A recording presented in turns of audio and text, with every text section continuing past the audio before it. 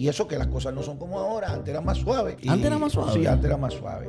¿En Y- qué sentido era más suave? Pero antes enamorar a una muchachita era un poco difícil. Era Era un poco difícil dentro de la iglesia. Dentro de la iglesia.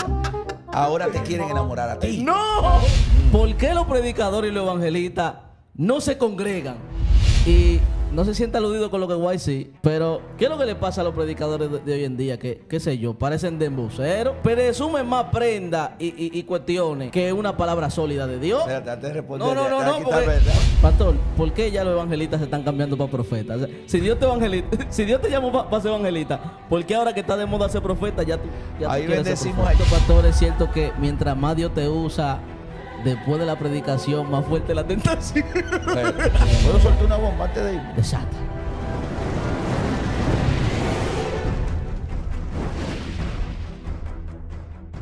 Picante pero edificante de show. El show más picante pero edificante del planeta. Hoy con nosotros, un gran amigo, un hermano, pastor, ministro, predicador del mundo, de las naciones, desde la isla del encanto para el mundo, con nosotros, el pastor Carlos Flores. Oírlo, ¿Cómo se siente, pastor? No, para mí es un privilegio. La Usted- verdad. usted se ve como bien, como que no hay batalla. Para mí. Dicen que, que el dinero no es agua, pero limpia. Limpia. Dios mío, ¿qué es esto, Padre amado? Pastor, usted sabe que quise a que usted viniera a- aquí. eh, comenzamos haciendo un contenido bien para los jóvenes, bien para los solteros. Todavía lo hacemos, no, no, no, no lo dejamos de hacer. Pero un contenido enfocado en las necesidades de los solteros. Y poquito a poquito eh, nos hemos ido enfocando más en las necesidades de la comunidad cristiana en sentido general. Eh, los solteros, lo- lo- los cristianos en general, ¿verdad que sí? Y eh, yo lo traje aquí porque yo, yo me siento indignado, como dice el líder. Yo me siento indignado porque yo eh, en los últimos años, podríamos decir los últimos, ¿qué? Los últimos 10 años, el ministerio evangelístico e itinerante, ¿verdad? Que es el ministro que, que predica, que lo invitan a predicar y va a, los lugares. Pues ese ministerio eh, ha dejado muchas cosas de qué hablar. Y yo sé que usted eh, vivió mucho tiempo como ministro itinerante, eh, hizo un trabajo tremendo, un trabajo ejemplar. Y por eso a mí me gustaría hacerle un par de preguntas. ¿Ustedes soportan? No estamos listos. Antes de todo, eh, ¿cómo está la iglesia? Tiene un tiempo ya que está pastoreando. Sí, gracias al Señor ya, ya tenemos tres años aquí en la República Dominicana, Sí. con Nación de Fe República Dominicana. Tengo, tengo la bendición que, que tengo a mi esposa mano a mano en el ministerio. Tiedita, estoy, estoy caliente. Tiedita, yo la amo. Es mía. Porque, porque no, la agenda itinerante continúa. Sí. Y yo creo que con mayor fuerza. Mm. Entonces, gracias a Dios que, que ella ha sido pilar, columna.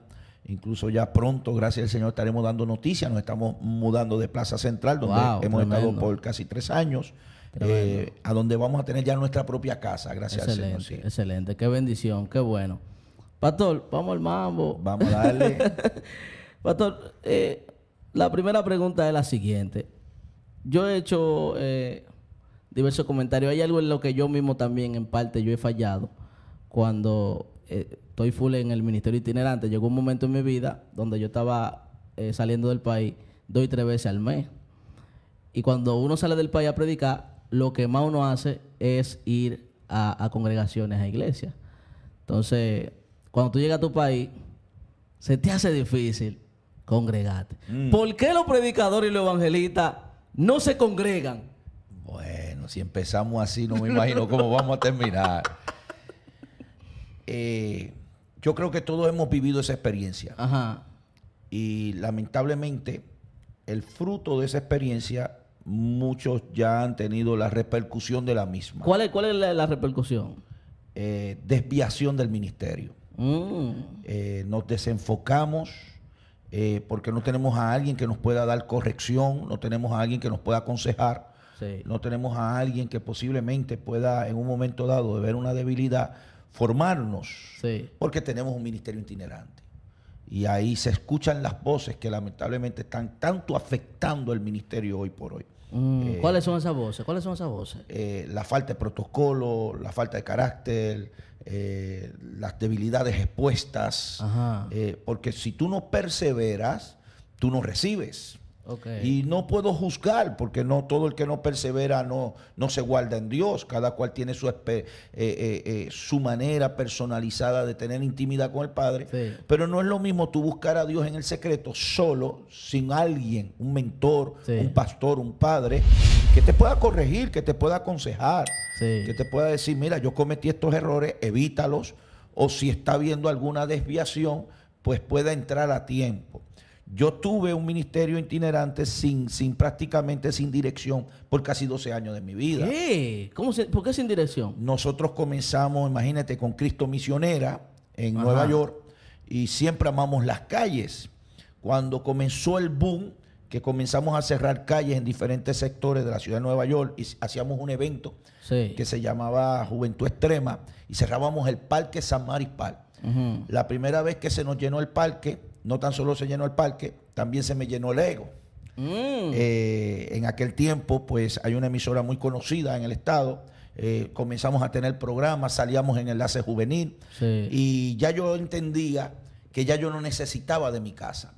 Ya yo entendía que yo no necesitaba perseverar, yo entendía que yo tenía una agenda eh, Muy apretada, muy fuerte apretada. Wow. y con ella vinieron mis problemas. Eh, lamentablemente, joven soltero, eh, sin madurez o sin el dominio que hoy puedo tener. Sí. Eh, y, y eso que las cosas no son como ahora, antes era más suave. Y- ¿Antes era más suave? Sí, antes era más suave. ¿En Y, qué sentido era más suave, pastor? antes, sin que se ofendan las jóvenes que nos están viendo y la juventud que está conectada, pero antes enamorar a una muchachita era un poco difícil. Era un poco difícil dentro de la iglesia. Pues. Dentro de la iglesia. Ahora te quieren enamorar a ti. No, pastor. Entonces- ¿Pero cómo va a ser? Eso trajo una desviación en el ministerio, eh, el cual pues yo no tengo temor en hablarlo porque son cosas que yo sé que el Padre perdonó, que el Padre trabajó, sé que, que- que en su misericordia Pero entonces, ¿cómo, y, cómo así? La, la mujer, la, la- las mujeres de ahora están enamorando a los siervos. Bueno, yo. ¿Y, yo- y- y por qué a mí no me enamoran entonces? Porque Yo estoy soltero. Félix, Félix, Félix.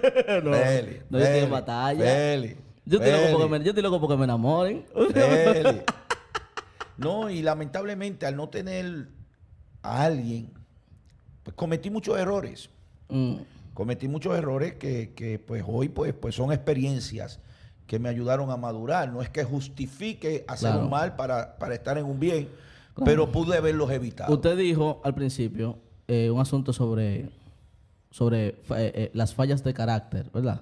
Entre los predicadores, que son fruto de, de no congregarse y de, de vivir una vida como de que ya yo tengo todo bajo control. No, yo, yo tengo la unción, yo tengo todo bajo control, yo no necesito de que ir a buscar para la iglesia, porque yo tengo todo bajo control, yo- Dios me usa, ¿tú entiendes? Ah, pero ¿por qué se hace tan difícil? Yo entiendo todo, pero ¿por, qué se hace tan difícil que un predicador exponga ciertas fallas de carácter? Es como que no se tolera que un hombre de Dios tenga fallas en su carácter. Como si Dios no, como que si, como que los pastores ya están listos y están eh, para servir a los que no están listos todavía. No es así, entiendo yo. Y los Lamentablemente- predicadores. Lamentablemente, eh, una de las cosas que nosotros hablamos constantemente en la casa es que, es que todos tenemos imperfecciones. Sí. Eh, conste, nosotros servimos a Dios por nuestras imperfecciones. Mm, Todos tenemos un 5%, aunque sea que no le hemos entregado a Dios. Claro. Y aunque eh, el tradicional no lo quiera aceptar, Sí. ese 5% es el que nos hace reconocer. Porque cuando menos lo pensamos, cuando menos lo entendemos, estamos envueltos en ese 5%. Sí, y ese 5% nos hace reconocer. Pero cuando hablo del carácter, eh, cosas que pueden ser simples dentro del ministerio, sentarse en una mesa mm, y saber alimentarse frente a los invitados. Claro, Eh, claro. Tener una conducta adecuada cuando tú estás hospedado en algún lugar. Eso le iba, porque a eso iba. A eso iba. A mí me ha tocado eh, hospedarme en lugares. Mm. Y a mí me duele cuando los pastores me dicen, "Hope- hospedé a, a, a, a- fulano de tal. Me, me dice un nombre que, que de gente que yo ni conozco, porque son muchos. Sí. Hay predicadores que no predican en este país, nada más predican... O por cuidarnos que algunos son amigos nuestros. No, no, no, de amigos míos no, no he escuchado nada. "Hosp- hospedé a fulanito y me estaba enamorando mi esposa. Mi madre.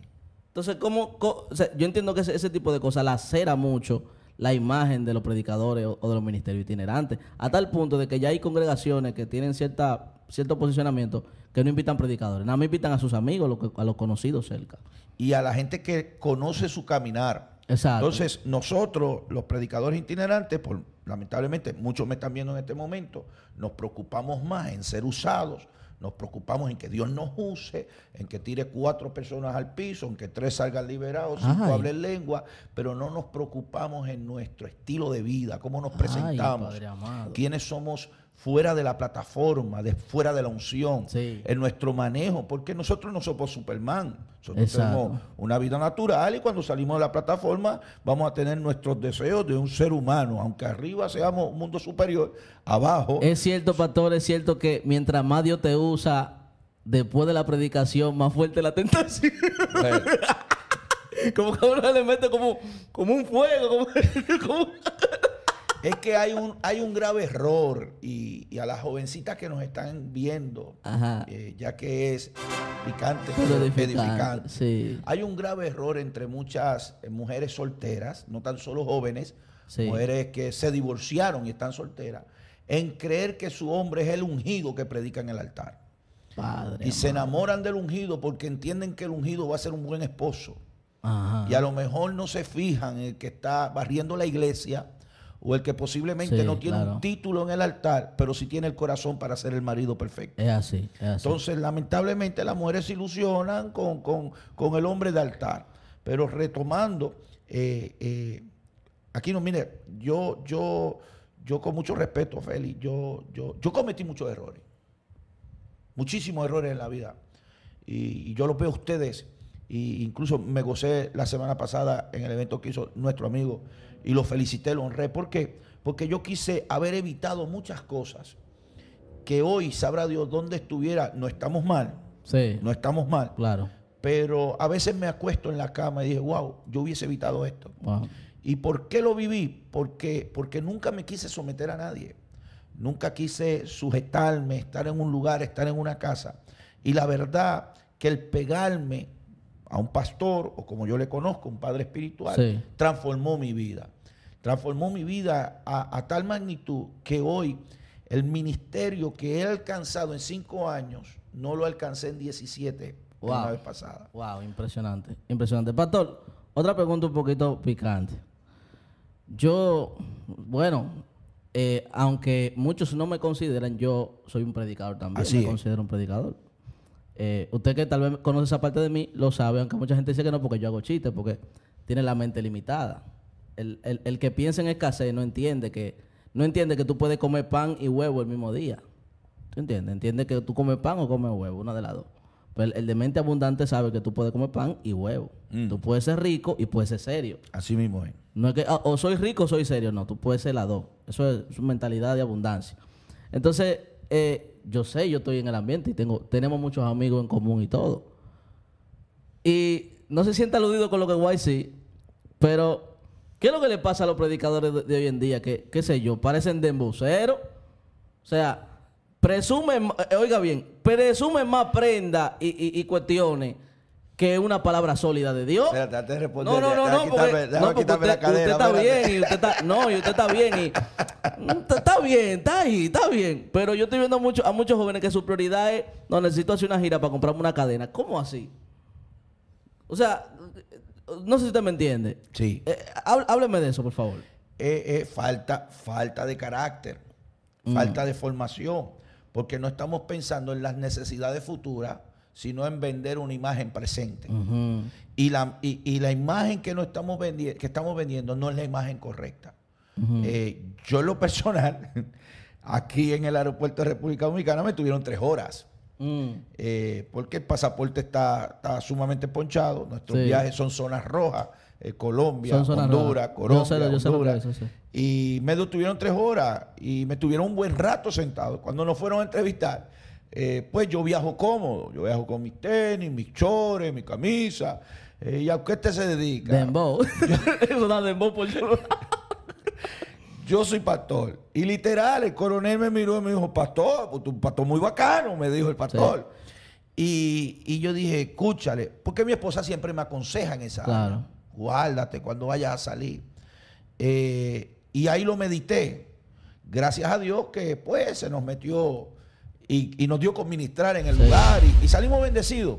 Ayer me lo encontré en una reunión, me lo encontré en unos hoteles aquí en la República y él se acordó de mí Mm, y me dio su número, lo tengo. Pero sí me di cuenta que me afectó. sí, De ahí en adelante me cuido en mis salidas. claro. Eh, hablaba con unos amigos referente al tema. Sabemos que la vestimenta no hace el santo y que hay gente que viste como santo. Yo, yo, en el, eh, eh, lo que yo cuestiono no es tanto el tema de la vestimenta, porque, pero yo cuestiono más como el, exhibicionismo de cosas. ¿Me entiendes? O sea, eh, porque eso, es- eso se conecta mucho con la idea materialista del mundo, de Mm. ese marxismo de que tú vales por lo que, por lo, por lo que tú Por tienes. lo que posees. Exactamente, ¿tú entiendes? Entonces, yo no puedo medir tu calidad de hombre de Dios, ni tu calidad de hombre, ni tu calidad de ser humano por el vehículo que tú manejas. Psicológicamente el poder de la persuasión tiene otro nombre también. Eh, yo escuché un gran amigo decirme, mientras sigas llegando en esa guaguita te van a bajar la ofrenda. Sí, Si llegas a una jipeta mejor, a lo mejor te la suben. sí. es la persuasión que se entra en la psicología humana que se está viviendo. Lamentablemente es una realidad, es una realidad. Sí. Eh, pero eh, cada cual se maneja de acuerdo a lo que entiende y, y el público que quiere manejar. En nuestro caso, yo en lo personal, pues, pues, aunque tengo 44 años de edad, a mí en realidad eh, entendí, y te voy a abrir mi corazón, que era falta de identidad en mi vida. Era querer mostrar algo al mundo. Era querer, y gracias a que tengo una persona que, que me está formando, Sí. que me no tiene que bajarle. ¿Cuál es la necesidad de estar subiendo platos de comida? ¿Cuál es la necesidad de querer exponer cada cosa que compras? Claro. Yo tenía ese defecto. Yo tenía ese defecto. Me acuerdo que una vez una persona me escribió incluso y me dijo, tanta gente con hambre y tú con Eso- esos zapatos Eso que también es un disparate. Pero... que tú con esos zapatos que cuestan 1.500 dólares, solo porque exhibí un video. Y se me salió mi lado humano. Se me salió mi mano- lado humano. Y le respondí. Y yo le dije, tantas cosas que hacer y tú mirando mis videos para criticarme. Tampoco fue la, la- la respuesta correcta. Porque si nos vamos a la esencia del ministerio, Félix, que Dios nos ha dado, la verdad, hemos perdido mucho. Lamentablemente creo, y yo le estoy pidiendo a Dios que me ayude, ya que no sé si es que me estoy poniendo viejo, ya estoy pensando de una manera distinta, Sí. eh, pero tenemos que retomar ciertas cosas que hemos soltado del ministerio. La realidad del por qué somos ministros, Sí. la realidad del por qué Dios nos llamó y a dónde van a llegar nuestras generaciones futuras. Hablando de esa realidad y, y de pensar en legado y en futuro, yo también cuestiono mucho el comportamiento ese de que yo tal vez he sido un poquito cruel al llamarle chiripero y, y joseadores a, es- a, la, a lo- a lo- a la persona que tienen ese comportamiento. Que ellos, ellos, ellos, quieren, ellos quieren predicar de lunes a lunes, cueste lo que cueste. Pero su, su motivación no es eh, las almas, el propósito. Porque cuando tú te... Es que, es que yo entiendo que nadie, por más, por más duro que tú seas, tú no puedes predicar de, de lunes a lunes. ¿En qué momento tú te vas a recargar para poder hablar algo sólido? O si está casado, darle el gustito a su esposa. ¿Cómo tú vas a atender a tu mujer predicando de lunes a lunes? ¿Tú entiendes? O sea, yo entiendo que si tú no tienes un tiempo para tú reflexionar y tú ves todo lo que tú estás haciendo y todo lo que tú estás diciendo, va a llegar un momento donde tú te vas para el altar hablar disparate. Mira, yo voy a decir algo que se va a escuchar crudo. Se va a escuchar crudo. Cuando abrí Nación de Fe, yo no quería cerrar mi agenda. Yo quería tener la iglesia y seguir siendo un predicador itinerante. Sí. Acuérdame decirle algo cuando se acabe el video. y mi papá, el apóstol Rafael Mojica, se sentó al frente mío y literal me dijo, papito, ¿tú tienes un ministerio por necesidad o por asignación? ¿Cómo por necesidad? Sí, porque si es por necesidad, vuelve al mundo y sigue vendiendo la droga que estaba vendiendo. ¿Qué? Esa es la bendición de tener un padre. Me confrontó. O estudia para ser doctor o ingeniero y dedícate a eso. Sí. Porque si tienes el ministerio por necesidad, lo estás teniendo en la manera errada. Ahora, si lo haces por asignación, con la conducta, el corazón genuino, eh, eh, eh, eh, el valor correcto, Sí. el Padre te recompensará por lo que hace. Claro. Y estamos viviendo eso, Félix. Mira, yo no critico, yo no juzgo, porque sé que hay muchos ministerios que han sido maltratados. Imagínate, tú que has viajado al mundo, llegar a un lugar y que de repente te hospeden en cualquier lugar, como si fueras nadie, o, posiblemente te den un gloria a Dios, Dios te usó. Claro. Eh, y sé que muchos por causa de eso han tenido que tener sus honorarios. No lo juzgamos, eso no es pecado. Claro. Eso no está mal, eso no está mal, no es pecado. Pero en nuestro caso hemos querido guardarnos, aunque hemos sufrido muchas consecuencias por ello. Pero la verdad que he visto al Padre recompensar por causa de la asignación. Yo eh, voy a compartir esto, que es algo un poquito personal. Creo que lo he dicho pocas veces. Yo recuerdo una vez cuando yo estaba eh, predicando itinerantemente, fuertemente así. Yo estaba un fin de semana en, una ciudad, en un país. Eh, me trataron súper bien. Yo estaba en un hotel que se veía el mar de allá arribota. Una locura. El pastor me dijo, cualquier cosa, pida servicio a la habitación y dele para allá tranquilo. Yo a cada rato estaba llamando, pidiendo sándwich y disparate. una locura, un nivel de gloria terrible. El desayuno, cuando tú llegabas un ascensor, eso se abría, se veía ese buffet, eso parecía de película, una locura de película. Una cama que yo nunca me acosté en una cama tan buena así, nunca viví esa vida aquí en, el barrio. Yo estaba viviendo en el barrio ahí en, vivienda eh, y no, no había vivido esa vida así, me sentía muy bien. Me dieron una, una, una, una honra poderosa, una ofrenda buena y fue una bendición. Vengo para acá, para la realidad. el lunes vengo por mi realidad normal mi barrio, mi batalla, en mi vivienda se iba la luz todos los días, mi guerra, y el jueves volví a salir. Y vuelvo a salir el jueves y cuando llego al lugar donde eh, fui, no era un lugar cómodo. No era lo mismo. No, no era lo mismo, era un lugar bien incómodo. Eh, los hermanos no tenían tantas posibilidades como de, atendernos como al otro nivel y mi mente cometió el error. Eh, es normal, pero cometió el error de comenzar a comparar y yo me estaba sintiendo deshonrado, aunque no me estaban deshonrando pero ya, ya había... Exacto, era, era el contraste. Y llegó a mí una palabra fuertísima. Dios me reprendió fuertemente antes, antes de yo subirme a, administrar. Porque ya yo estaba medio, hasta medio incómodo. Pues sentía que me estaban deshonrando, pero no me estaban deshonrando. Eh, me acordó a Pablo escribiendo desde la cárcel. Mm. Desde la cárcel. Diciéndole a Timoteo, yo estoy preso aquí. Pero la palabra no está presa. Mm. Él está diciendo, hey, yo no estoy cómodo hasta, me engrifo porque es algo fuerte. Yo no estoy como, yo tengo, yo tengo grillos en los pies, yo estoy comiendo porquería aquí. Pero aquí yo te estoy escribiendo una carta inspirado por el Espíritu Santo. Porque aunque yo no, aunque yo no me sienta cómodo, la palabra siempre tiene que cumplir su propósito. Y muchas veces nosotros nos sentimos, no nos sentimos cómodos en un lugar y limitamos la palabra que vamos a entregar porque no nos sentimos cómodos.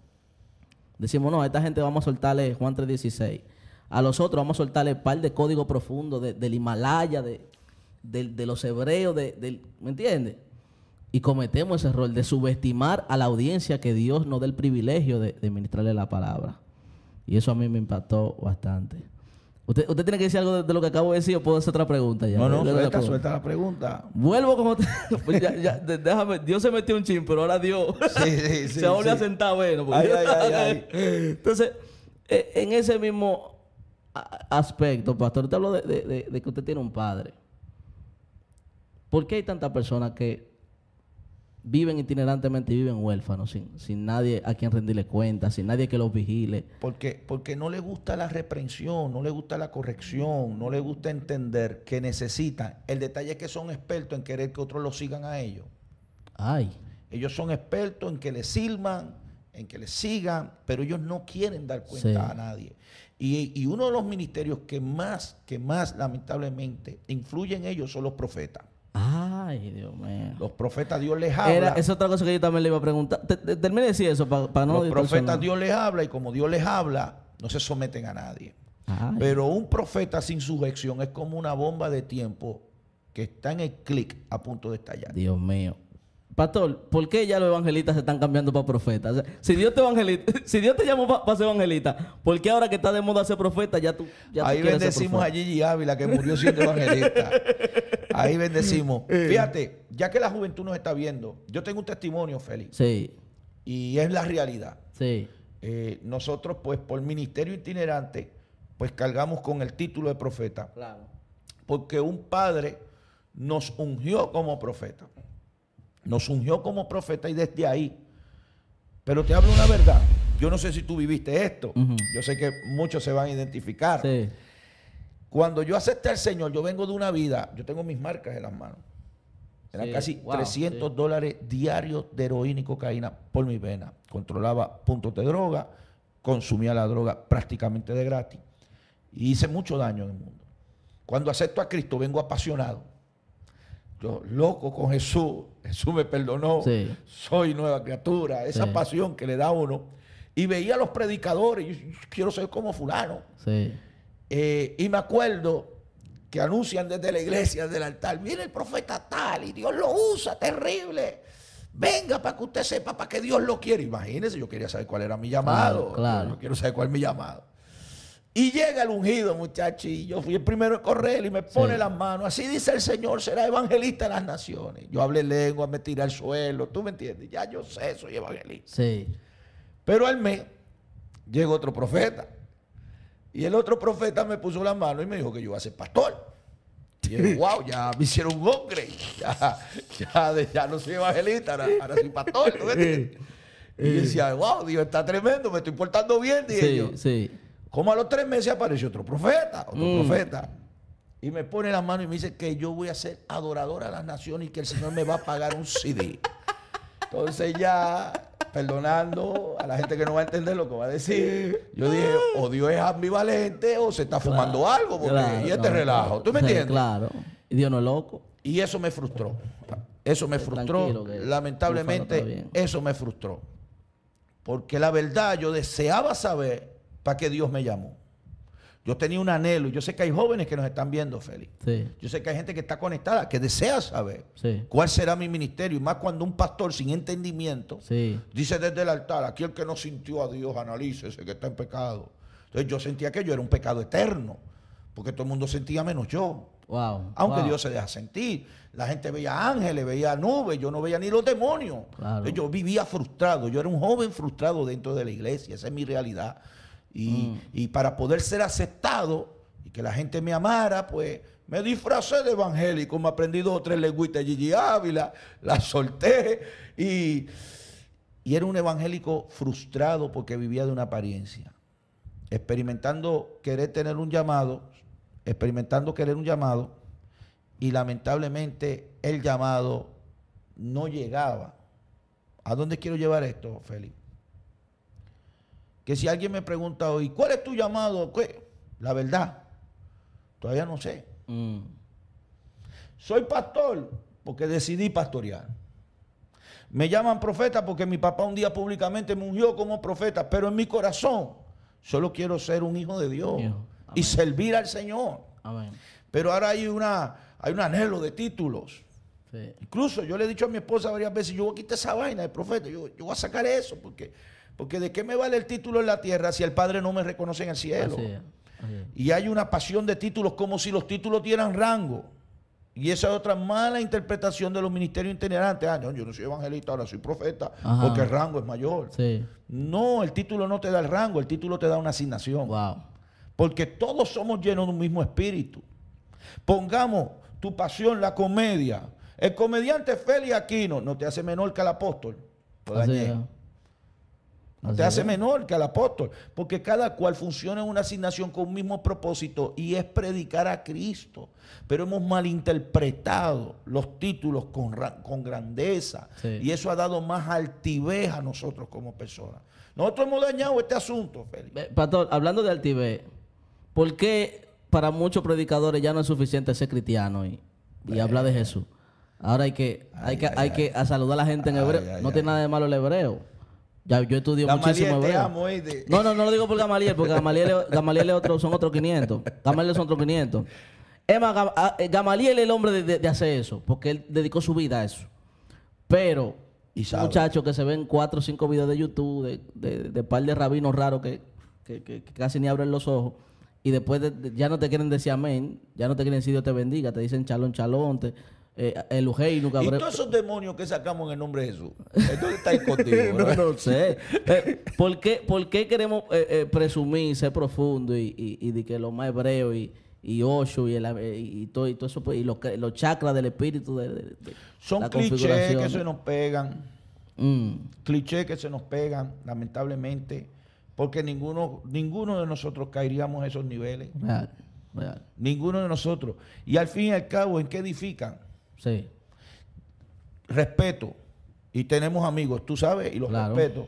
Y la verdad necesitamos conocer la cultura hebrea para poder entender las claro que sí. escrituras en No, este claro que sí, eh, eh, totalmente. Y, y para eso hay maestros eh, que a veces son, son un poquito ruidosos para nosotros, pero enfocémonos en lo positivo que tienen. Como nuestro querido hermano Piña, que es para mí uno de los mejores predicadores que existe en el planeta. Y Piña tiene esa línea de raíces hebreas y todo eso. Hay muchísimas cosas que, en las que yo, en las que me hacen ruido de Piña, que tal vez en otro momento de mi vida tal vez no me hagan ruido. Pero en este momento de mi vida yo no lo critico, yo simplemente tomo lo bueno y tiro para adelante. Exacto. Como dijo el apóstol Pablo a- a- a- en los escritos a, a los berianos, eh, cuando Pablo llegó con Sila, digo, Sí. ellos me, me aplaudieron, en otras palabras, ellos Sí. me elogiaron, ellos, wow, qué palabra, pero al otro día escudriñaban en las escrituras. Ah, Porque nunca podemos decirle no a lo que no se nos ha sido revelado. exactamente. No sea que después terminemos nos haci- haciéndolo. Así. Puerto Rico lo sufrió. Cuando Fon salió en el 80 con la doctrina de la prosperidad, ¿Quién es Fon? eh, Rodolfo Fon, el de Ah. Fuente de Agua Viva, salió con la doctrina de la prosperidad. ¿Cuánta gente juzgó a, Fon? 30 años atrás, 40 años atrás. Hoy todo el mundo predica el, el mensaje de Fon. Porque muchas veces criticamos. Porque lo que es pionero con el trabajo que ustedes están haciendo, ¿cuánta gente anda confundida? No, no, no, muchacho. Porque todo lo que es pionero siempre va a traer crítica. ¿Acaso Jesús no fue criticado? Claro. Todo lo que va por primero, todo lo que se atreve a abrir brecha. Y hay cosas que a lo mejor hoy nosotros decimos, pero ¿y qué locura soltó ese hombre? Sí, Yo no sí. entiendo. Pero luego dice, wow, eh, Exactamente. Exactamente, así. Señores, esto es picante, pero edificante, magistral, tremendo, pastor. Gracias por estar aquí, gracias por bendecirnos. Suscríbase a este canal, suscríbase al canal del pastor, está aquí toda su información. Gracias por estar conectado aquí, gracias a las personas que nos apoyan por Super Chat, Cash App, PayPal, gracias por su apoyo. Dios le bendiga de ¿puedo manera soltar una bomba antes de irme? desata. A todos los que tienen anhelo de ministerio, y anhelan una agenda itinerante porque ven a fulano de avión en avión, y a sultano en buenos hoteles, y a fulano con buenos platos, y a lo mejor con una correa Ferragamo, que no es original, que la compró en la Duarte. Dios mío. Eh, procura, procura, procura ser buen administrador, tener buen testimonio. Procuremos representar a aquel que murió en la cruz. Más allá de anhelar el ministerio itinerante por los beneficios que nos puede dar, procuremos quiénes somos. Creo, creo que el Mesías viene por segunda vez. Pero ¿de qué vale decir que Cristo viene, que Cristo viene, que Cristo viene? Y nosotros, sus representantes, no podemos revelar el Cristo que tenemos por dentro. Más allá de anhelar una agenda itinerante, anhelamos ser jóvenes representantes del que murió en la cruz, en buen testimonio. Se puede disfrutar la vida. Yo gozo a los jóvenes que saben gozar en libertad, Amén. sin la carga religiosa, sin el peso de la tradición, Amén. pero saber que tienen la verdadera libertad y saben la línea donde se tienen que detener para guardar al Cristo que predicamos. Para mí fue una bendición. Tremendo. Esto para mí fue una honra. Eh, dentro del ministerio itinerante todo el mundo quiere honra. y, y a muchos predicadores se les olvida que los pastores no necesitan de los predicadores, ya ellos tienen su plataforma. Sí, Que el hecho de que nos inviten al altar y nos permitan predicar a sus hijos, ya no están honrando. claro. Ya no están honrando. Así. Me gocé, papito. Suscríbase, bendiciones.